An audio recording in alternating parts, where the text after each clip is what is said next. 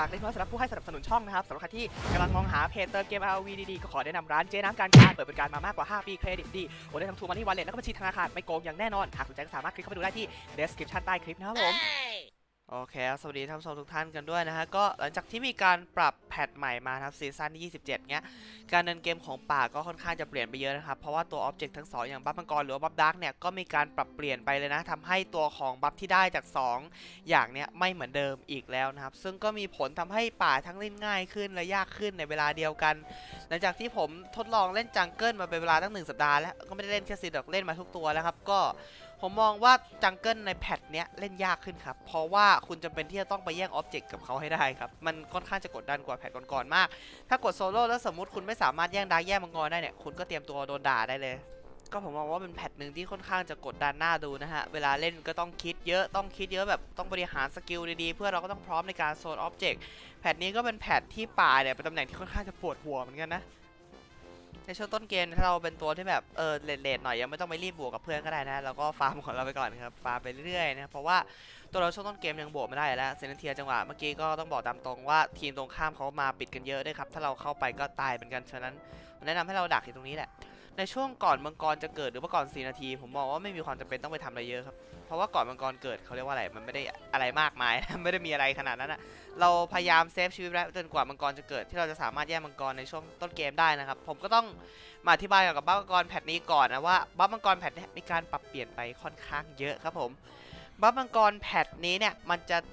มีการสร้างความเสียหายเหมือนเดิมครับ ทั้งต่อ creep แล้วก็ต่อฮีโร่นะฮะ ทั้งตัวก่อน 8 นาที แล้วก็ตัวหลัง 8 นาทีจะเป็นความเสียหายเวท แต่ว่า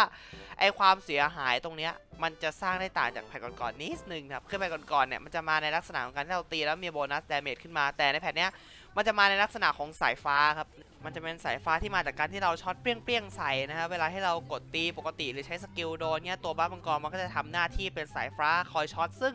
สามารถสลับนะครับไปโดนฮีโร่ตัวอื่นที่อยู่ในระยะได้ หรือว่าโดน creep ก็ได้เหมือนกัน มันเป็นสายฟ้าที่ค่อนข้างจะมีประโยชน์เพราะว่ามี AOE ค่อนข้างสูงครับจากที่เมื่อก่อนเนี่ย buff มังกรจะโดนแค่เฉพาะเป้าหมายเดียวนะ ฉะนั้น patch นี้ก็ต้องบอกเลยครับว่า buff มังกรก่อน 8 นาทีเนี่ยน่าเอาขึ้นเยอะครับจากที่แต่เดิมก่อน 8 นาทีเราก็ไม่ค่อยเอาดาร์กกันอยู่แล้วก็เอาแต่มังกรกันตลอดนะ patch นี้ก็ยิ่งต้องเอามังกรเข้ามาอีกนะครับถ้าเกิดว่าพลาดมังกรเนี่ยผมบอกเลยเกมนะครับตามเลยในช่วงต้นเกมเนี่ยต้องห้ามพลาดเด็ดขาดเนี่ย ผมพยายามไม่มาเอามังกรให้ได้เนี่ยพยายามมาโซนนะฮะไม่ให้มันได้เด็ดขาดนะเพราะถ้าเกิดมันได้มังกรบอกเลย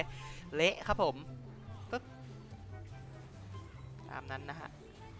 แตกครับเรียบร้อยตายแต่ต้นเกม 2 ตัวเนี่ยเอาจริงก็ไม่ค่อยคุ้มกันหรอกจริงๆเราไม่ควรจะตายแบบนี้หรอกนะแต่ว่าผมฝืนนั่นแหละ ฝืนคือแบบผมพยายามจะเข้าไปเข้าไปล้วงเขาให้ได้ แล้วก็กะจะเอามังกรซะตรงนั้นเลย แต่ดันกดแลกเลือดไม่ทันนะครับ แวนไม่เงิน 2,000 กว่าแล้วเรียบร้อยเนี่ยถ้าเกิดว่าทีมตรงข้ามได้มังกรแล้วเราก็พยายามอย่า fight ดีกว่า เพราะว่ามังกรช่วงต้นเกมเนี่ยที่ผมบอกไปนะว่าไอโบนัส damage เวทเนี่ยมีผลต่อฮีโร่ด้วย สมัยที่มีการปรับ patch เอาตัวของมังกรรูปแบบใหม่เข้ามาพร้อม map 4.0 เนี่ยอาจจะยังไม่มีไอตัวโบนัส damage ต่อฮีโร่ฮะตอนนั้นถ้าผมจำไม่ผิดมีแค่กับ creep อย่างเดียวนะแต่ว่า ทุกวันนี้ไอตัวโบนัสความเสียหายเวทอะมันสร้างกับฮีโร่ได้แล้ว ฉะนั้นมันไม่คุ้มค่าเท่าไหร่กับการที่เราจะเข้าไปบวกในจังหวะที่มันอาจจะแพ้ fight ได้นะครับ ในช่วงต้นเกมไม่ค่อยแนะนำนะ แต่ทีนี้ถ้าเกิดว่าสมมตินะครับมีคนแทงให้เข้าไปเลยครับ อย่าพยายามอย่าไปยืนติดๆมันอะเวลาเขาเรียกว่าอะไรเวลามันมี buff มังกรอยู่ถ้ายืนติดๆมันจะโดนสายฟ้าเปรี้ยงๆไปด้วยนะฮะก็พยายามเออยืนแยกๆกันไว้หน่อยแล้วเราค่อยเข้าไปปิดจังหวะท้ายๆก็ได้ ไม่งั้นเราก็จะโดนสายฟ้าช็อตไปด้วยนะ เพราะผมมองว่าถึงแม้ว่า damage มันจะไม่ได้แรงมากก็จริง แต่มันก็มีผลต่อการ fight ครับ ในช่วงต้นเกม damage ทุกหน่วยมีผลต่อการ fight หมดนะครับ เพราะว่าเลือดฮีโร่ในช่วงต้นเกมแม่งยังไม่ได้เยอะมากนะ ก็พยายามอย่าไปบวกกับมันเยอะในช่วงต้นเกมเนี้ย เราได้ดาร์กแล้ว ได้มาครบทุกอย่างแล้ว อันที่จริงแล้วผมไม่ค่อยแนะนำให้เอาดาร์กเท่าไหร่ มันจะมีข้อเสียนิดนึงนะครับ เผื่อเพื่อนๆไม่รู้นะ ข้อเสียของ Dark Slayer เนี่ย คือการที่ตัวของดาร์กถ้าเกิดสมมติเราเป็นตัวที่แพ้เลนเขานะฮะเป็นตัวแพ้เลนเขาใช่ไหมแล้ว Dark Slayer มันวิ่งไปเคลียร์เลนทีมตรงข้ามเงี้ยมันทำให้เราที่เนี่ยสังเกตม้าไหมถ้าเกิดว่าม้าอยู่ในป้อมเนี่ยอันนี้ผมสมมติเฉยๆถ้าเกิดว่าม้าเป็นตัวที่แพ้เลนสกัดนะฮะถ้าเกิดว่าเขาอยู่ในป้อม และตัว vanguard ไปถึงกลางแม่น้ำนะ vanguard มันยิงสามนัดเนี่ย creep หนึ่งตัวจะตายนะครับนั่นหมายความว่าตัว offlane ฝั่งเราเนี่ยจะไม่ได้ตัว wave ของเลนนั้นๆนะฮะดังนั้นมันทำให้การเอาดาร์กในช่วงต้นเกมเนี่ยต้องคิดให้ดี เพราะถ้าเกิดว่า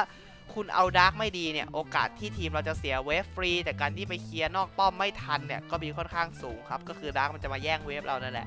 ฉะนั้นการจะเอาดาร์กต้องดูที่ดาร์กฮีโร่ครับผม ถ้าเกิดว่าดาร์กฮีโร่เราชนะทางเขาก็เอาไปเลย แต่ถ้าเกิดดาร์ฮีโร่เลนเราแพ้ไม่ควรเอาครับ เพราะว่าจะทำให้เลนเราเล่นยาก จะเสีย wave ไปฟรีหลาย wave เลย แล้วก็ทำให้ทีมตรงข้ามเนี่ยมันรวยขึ้นเรื่อยๆนะ เพราะว่าดาร์กมันก็ให้เงินเขาด้วยนะประมาณนั้นแหละ ผมก็มองว่าช่วงต้นเกมการเอาดาร์กไม่ค่อยคุ้มเท่าไหร่ เราพยายามเอามังกรดีกว่า แต่ถ้าเกิดว่าโดนแย่งมังกรเราถึงจะเอาดาร์กนะครับ แต่ว่าเกมเนี่ยบอกเลยแวนแม่งเจ็ดศูนย์แล้ว ยับจัดแต่ก็ชนะได้นะ สงครามยังไม่จบอย่านับศพทหารครับ ตามนั้นครับสงครามยังไม่จบอย่านับศพทหาร แทงเป็นก็ตายได้อะบอกเลย การหยิบ เขาเรียกว่าอะไรหยิบตัวที่ละลายแท้งมาได้ใน meta นี้ก็ค่อนข้างจะ work อยู่เหมือนกันครับ เพราะว่าแท้งหลายตัวมันถึกครับ แล้วก็บวกกับมีทั้งไอเทมใหม่ขึ้นมาอีกเป็นไอเทมกัน damage นะ แล้วก็ยังมีการปรับของตัวดักซ l เ y อร์หลัง 8 นาทีเนี่ย ที่สามารถปล่อยคลื่นพลังหน้าโง่เนี่ย ในการใช้สำหรับ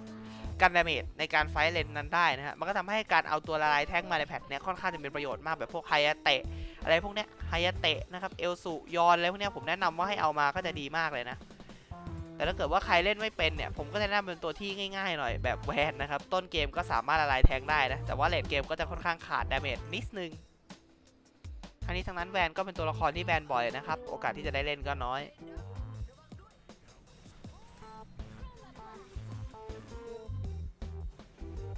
โอเคคลิปจะเข้าป้อมแล้วเราก็หน้าด้านตีป้อมตีป้อมเองเลย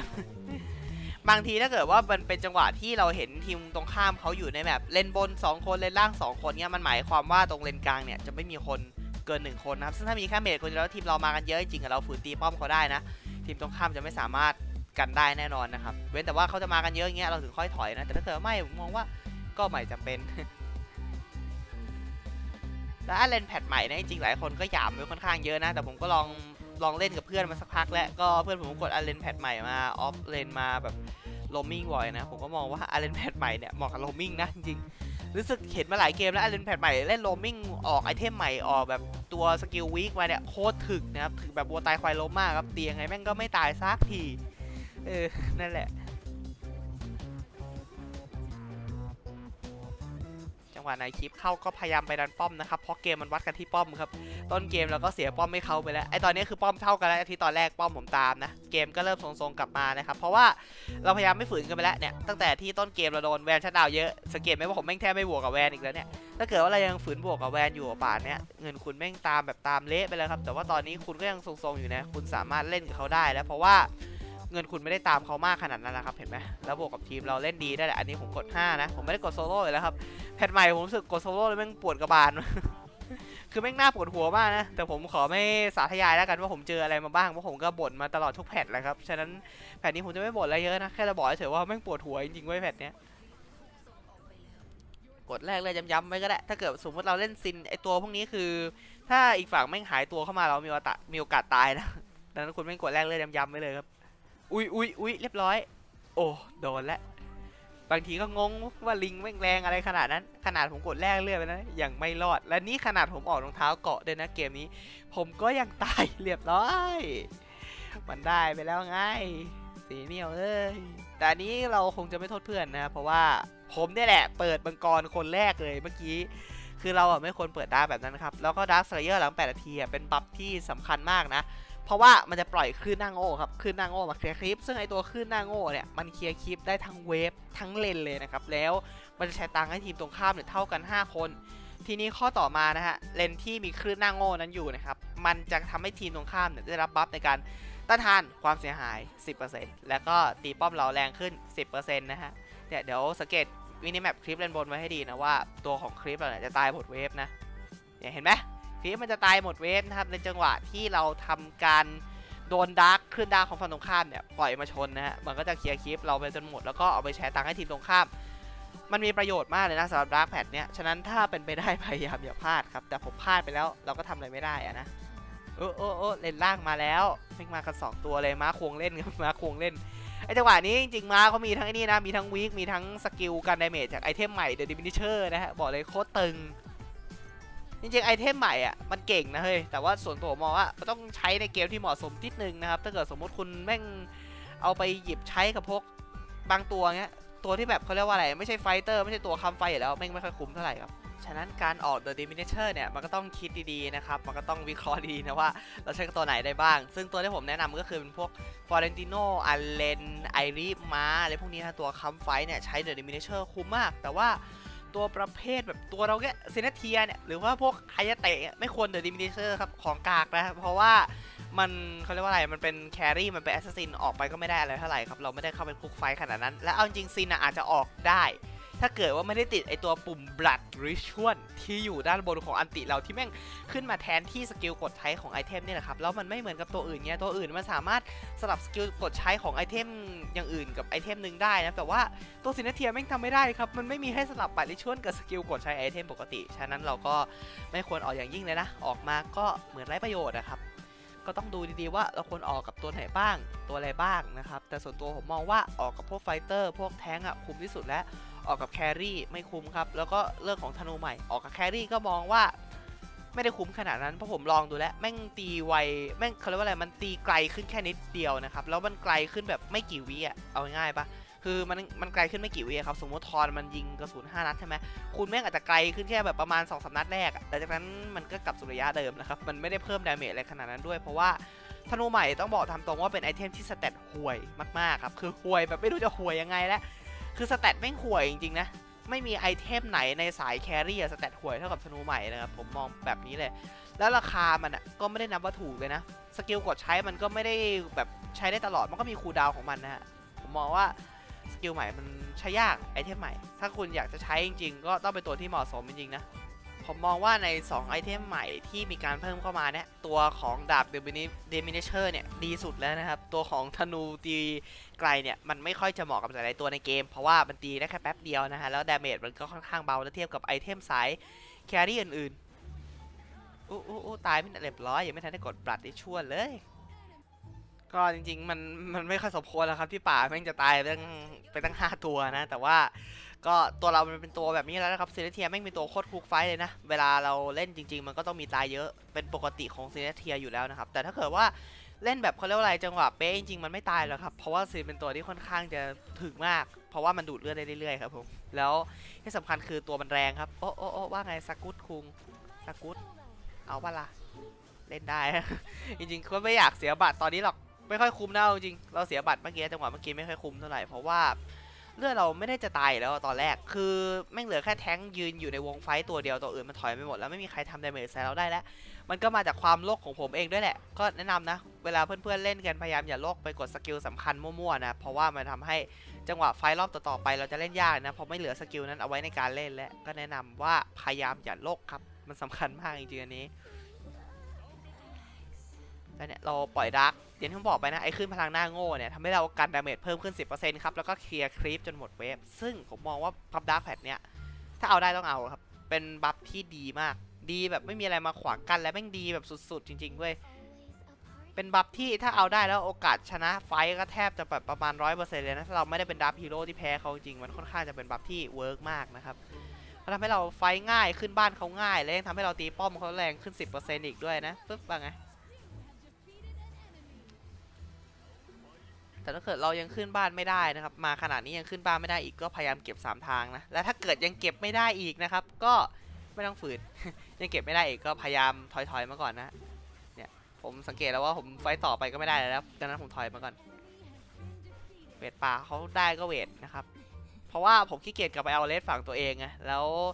การที่ป่าได้เลสอะมันค่อนข้างจะมีประโยชน์นะ เพราะว่าป่าจะสามารถเอาเลสนั้นไปใช้ในการสโลในการเผาศัตรูได้นะฮะมันทำให้เราไล่จับวิ่งไล่เขาได้ง่ายขึ้น ดังนั้นถ้าถ้าให้ผมเลือกนะระหว่างเรดกับบลูเวลาเวทป่าฝั่งตรงข้ามผมจะเลือกเรดมากกว่าเว้ยเพราะว่าสำหรับผมอะถ้าเกิดมีโอกาสได้เวทพร้อมกันนะแต่เราไม่ใช่ตัวที่มานาเปลืองแบบสิ้นเปลืองแบบนาคอสจริงๆนะครับ ผมจะเอาเป็นตัวเรดเพราะว่าเรดคุ้มกว่าในแง่ของการนำไปใช้ไฟนะครับ ซึ่งตัวบลูเนี่ยมันก็จะคุ้มแค่กับบางตัวแบบพวกนาคอสแล้วพวกนี้แต่ว่าเรดเนี่ยมันตายตัวนะว่ามันสามารถสโลว์ได้ไม่ว่าตัวไหนใช้ก็คุ้มครับบลูหลักๆของมันคือมานานะที่ทำให้มันคุ้มอะ โอเค ตีไปเลยครับเหตุผลที่ผมกล้าตีตอนนี้นะ เพราะว่า Allain เราอยู่ตรงกลางครับ คอยล่อไว้ให้อยู่ แล้วบวกกับ wave เราดันไว้สูง อันนี้คือข้อดีนะของการทำ wave สูง ถ้าเกิดว่าทำ wave สูงไปแล้วเนี่ย โอกาสที่เราจะมีเวลามาเอา dark แบบเนี้ยแบบโซโล่ได้มีค่อนข้างเยอะครับ ถึงแม้ว่าเราจะตายไปสักรอบหนึ่งเกิดต้องเสียก่อเกิดไปแต่ ขอแค่เราได้ dark มาก็คุ้มแล้วนะครับสำหรับการเล่นในช่วงหลัง 15 นาทีขึ้นไปการได้ dark เนี่ยเป็นอะไรที่คุ้มมากนะ เพราะว่ามันจะเพิ่มโอกาสในการขึ้นบ้านและการจบบ้านให้กับเราครับ ถ้าเกมมันยืดเยื้อมาขนาดนี้แล้วเรายังไม่เอา dark เนี่ยก็จะเล่นยากไปเลยนะ สมมุติถ้าเราเสีย dark ให้ฝั่งตรงข้ามนะต่อให้เราทำไป 2 ทางหรือ 3 ทางแล้วอะ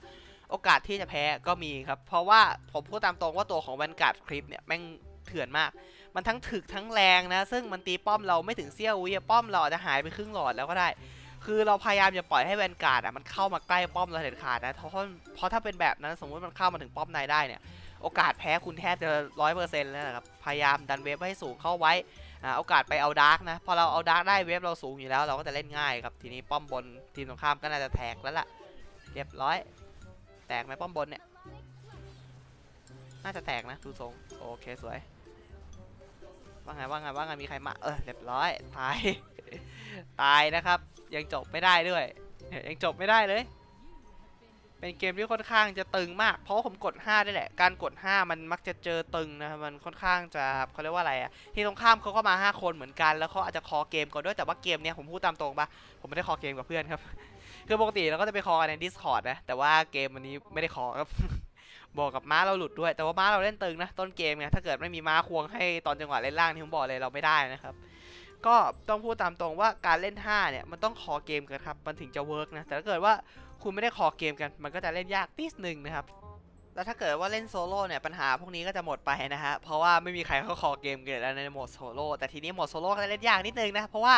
เวลาคุณเล่นโซโล่เล่นป่าคุณสังเกตไหมคุณเล่นป่าคุณฟาร์มดูสมมุตินะครับทีมตรงข้ามป่าเป็น Nakroth เราติ๊กบอกเพื่อนให้ไปช่วยกัน red ให้หน่อยนะฮะ เพื่อเราหรือว่าโรมิงหรือว่า mid เนี่ยแม่งจะวิ่งไป lane carry อย่างเดียวครับแม่งไม่ช่วยกันเลนเลยครับซึ่งอันเนี้ยถ้าเกิดว่าผมเล่น 5 เขาจะช่วยกันให้เสมอครับเพราะว่าเรารู้เรื่องกันไงเราเล่นกันบ่อยนะครับมันเขาเรียกว่าอะไรมันมีความคุ้นชินกันอะก็จะรู้ว่าเออคิดยังไงกันบ้างนะแต่ว่าเล่นโซโล่ไม่มีใครทำตามใจเราได้ตลอดเวลาครับซึ่งผมก็จะ